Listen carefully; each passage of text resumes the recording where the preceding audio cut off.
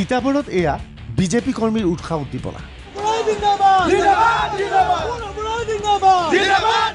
উৎসাহ উদ্দীপনা দেখা গৈছে অগপ কৰ্মী।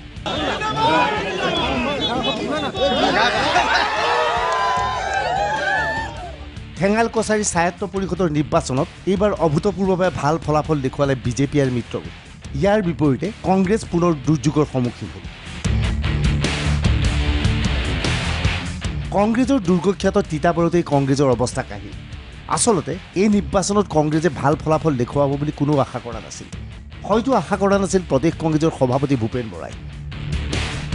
যাৰ পৰিণতিত ভূপেন বৰাই টেঙাল কছাৰী স্বায়ত্ব পৰিষদৰ নিৰ্বাচনত এদিনো প্ৰচাৰ চলাবলৈ নগ'ল। ইয়াৰ বিপৰীতে বিজেপিয়ে ব্যাপক হাৰত প্ৰচাৰ চলাইছিল। তৎসত্বেও ভূপেন বৰাই আশা প্ৰকাশ কৰিছিল এই নিৰ্বাচনত কংগ্ৰেছে ভাল ফলাফল ঠেঙাল কছাৰী স্বায়ত্ব পৰিষদৰ নিৰ্বাচনত বিজেপিৰ মিত্ৰজোঁটৰ জয় জয়কাৰ। বাইছখন আসনৰ ভিতৰত বিজেপি মিত্ৰজোঁটৰ দখলত সোতৰখন আসন। ইয়াৰ বিপৰীতে মাত্ৰ চাৰিখন আসনতেই কংগ্ৰেছ সীমাবদ্ধ। এখন আসন লাভ কৰিলে নিৰ্দলীয়। তিতাবৰত এইদৰে উৎসাহ উদ্দীপনা দেখা গৈছে। ইয়াৰ মাজত কংগ্ৰেছ কৰ্মীয়েও আনন্দ কৰিছে। কিয়নো কংগ্ৰেছে তিতাবৰত দুখন আসন লাভ কৰিবলৈ সক্ষম হৈছে। কংগ্ৰেছৰ দুৰ্গ তিতাবৰত দহখন আসনৰ ভিতৰত বিজেপি মিত্ৰজোঁটৰ সাতখন আসন কংগ্ৰেছৰ দুখন আৰু নিৰ্দলীয়ৰ এখন। এই মহিলাগৰাকীৰ নাম বন্তি শইকীয়া। তিতাবৰৰ প্ৰধান সমষ্টিটোৰ পৰাই ঠেঙাল কছাৰী স্থায়িত্ব পৰিষদৰ নিৰ্বাচনত বিজেপি জয়ী হ'বলৈ সক্ষম হৈছে। অথচ বিগত লোকসভা নিৰ্বাচন অথবা বিধানসভা নিৰ্বাচনত বিজেপি কংগ্ৰেছতকৈ এই সমষ্টিসমূহ পিছ পৰি আছিল। মই বহুত মানে প্ৰতিদ্বন্দ্বিতাপূৰ্ণ এটা হেৰিত মই জয়ী হৈ আহিলোঁ। তাৰ কাৰণে মোৰ ভোটাৰসকলক সকলোকে মই ধন্যবাদ জ্ঞাপন কৰিছোঁ। আৰু মোৰ বহুত ভোট মানে ইতিমধ্যে কাট খাই গৈছিলে সেইকাৰণে কম ভোটত মানে। মই মাত্ৰ বাৰটা ভোটতহে জয়লাভ কৰিছোঁ। বাৰটা ভোটত জয়লাভ কৰিছে। তিতাবৰত বিজেপিৰ এই ভাল প্ৰদৰ্শনৰ পিছত উৎসাহিত হৈ পৰিছে জিলা বিজেপিৰ সভাপতি হেমন্ত কলিতা এই বিজয় তিতাবৰৰ সংগ্ৰামী ৰাইজৰ জয়। এই বিজয় খাটি খোৱা মানুহৰ বিজয় এয়া সত্যৰ জয়। কাৰণ আমি তিতাবৰত নিৰ্বাচনৰ প্ৰাক মুহূৰ্ততেই কৈছিলোঁ যে এইবাৰ আমি দহখনৰ ভিতৰত দহখন আসন জয়লাভ কৰিম। এতিয়ালৈকে ঘোষিত আসনৰ ভিতৰত শতকৰা আশী ভাগ আসন বিজেপিৰ পদুমে জয়লাভ কৰিবলৈ সক্ষম হৈছে। আমি এটা কথাত নিশ্চিত প্ৰদান কৰিছিলোঁ ৰাইজক যে অনাগত সময়ত আমি ৰাইজৰ পক্ষত থাকি ভাৰতীয় জনতা পাৰ্টীয়ে কাম কৰিব আৰু ৰাইজে সেই কথা মানি লৈ ভোট দিছে আৰু বিশেষকৈ যোৱা সময়ছোৱাৰ বিশেষকৈ যোৱা ছটা মাহৰ উন্নয়নী প্ৰক্ৰিয়াক ৰাইজে বিশেষভাৱে গ্ৰহণ কৰিছে। বহুতে কৈছিল যে কংগ্ৰেছ তিতাবৰ কংগ্ৰেছৰ দুৰ্গ। কিন্তু এই কংগ্ৰেছক আজি আমি নিঃশেষ কৰি আজি আমি শতকৰা আশী ভাগ আসনত জয়লাভ কৰিছোঁ। কংগ্ৰেছ সভাপতি ভূপেন বৰাৰ গৃহ জিলা লখিমপুৰত কংগ্ৰেছ ধূলিচা ছখনৰ ভিতৰত ছখনেই বিজেপিৰ মিত্ৰজোঁটৰ দখলত। লখিমপুৰৰ পাঁচখন আসনৰ উপৰিও ধেমাজিৰ এখন আসন আছে। ধেমাজিৰ আসনখনত ইতিমধ্যে বিনা প্ৰতিদ্বন্দ্বিতাই বিজেপি বিজয়ী হৈছে। লখিমপুৰৰ পাঁচখন আসনৰ ভিতৰত এখন অগপৰ বাকী চাৰিখন আসন লাভ কৰিছে বিজেপিৰ মিত্ৰজোঁটে। ঠেঙাল কছাৰী স্থায়িত্ব পৰিষদৰ মুখ্য কাৰ্যবাহী সদস্য পদটো উত্তৰ অসমৰ পৰা দিয়ক ছখন আসন লাভ কৰাৰ পিছত এই দাবী উত্থাপন হ'ল।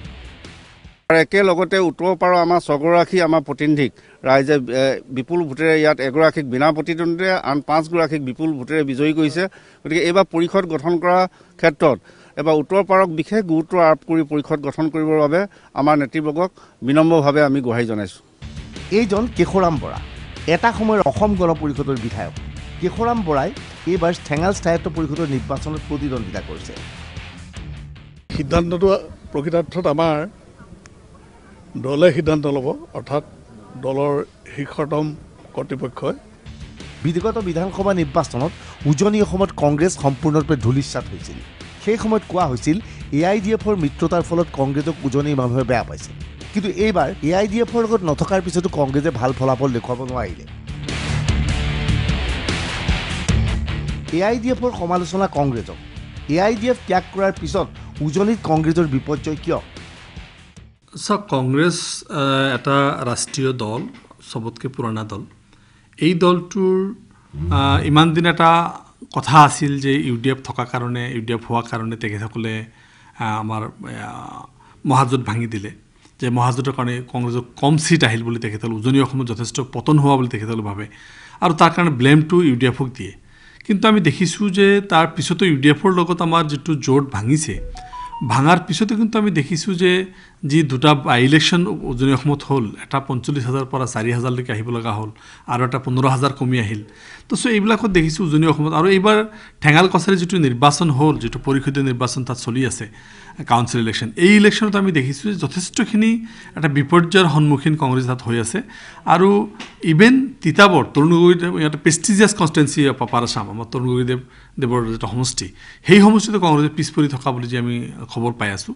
ইয়াৰ দ্বাৰা কিন্তু এটা কথা স্পষ্ট হৈছে যে যিটো ব্লেম দি কেনে তেখেতসকলে কৈছিল যে ইউ ডি এফৰ কাৰণে উজনি অসমত বেয়া হৈছে এতিয়া কিন্তু ইউ ডি এফ নাই। তাৰ পিছতো আমি দেখিছোঁ উজনি অসমত তেখেতসকলৰ ভাল হোৱা নাই। তো তেখেতসকলৰ যিটো সেই সিদ্ধান্ত আছিল সেই সিদ্ধান্ত ভুল প্ৰমাণিত হ'ল যে ইউ ডি এফৰ কাৰণে তেখেতসকল কমিছে। সমগ্ৰ বিষয়বস্তু সংক্ৰান্তত বিশেষ উদ্দীপনা প্ৰকাশ কৰা নাই মুখ্যমন্ত্ৰী ডক্টৰ হিমন্ত বিশ্ব শৰ্মাই। মই ইমান খবৰ লোৱা নাই কিন্তু আমি নিশ্চিত যে আমি খুব ভাল ৰিজাল্ট দেখুৱাব পাৰিম। এতিয়ালৈকে লখিমপুৰৰ খুব সম্ভৱ পাঁচখন আসন পাঁচখনতে আমি জিকিছোঁ নাহৰকটীয়াটো জিকিছোঁ। ধেমাজিটো বিনা প্ৰতিদ্বন্দ্বিতাৰে নিৰ্বাচিত হৈছে। চৰকাৰখনৰ কাম কাজৰ প্ৰতি অসমৰ ৰাইজৰ যি আশীৰ্বাদ সেই আশীৰ্বাদ আমাৰ বাবে প্ৰেৰণাৰ প্ৰতীক আৰু সেই আশীৰ্বাদক আমি শিৰত লৈ আগবাঢ়ি গৈ থাকিম সাধাৰণতে পৰিষদীয় নিৰ্বাচনত শাসনাধিষ্ঠ দলৰ সপক্ষে বতাহ পলাটো দেখা যায়। এইবাৰো একেই ঘটনা সংঘটিত হ'ল। কিন্তু কংগ্ৰেছে এই নিৰ্বাচনত যিধৰণে শক্তি প্ৰদৰ্শন কৰিব লাগিছিল, সেই ধরনের শক্তি প্ৰদৰ্শন কৰাত সম্পূৰ্ণৰূপে ব্যৰ্থ হ'ল। Bureau' report, D Y three six five.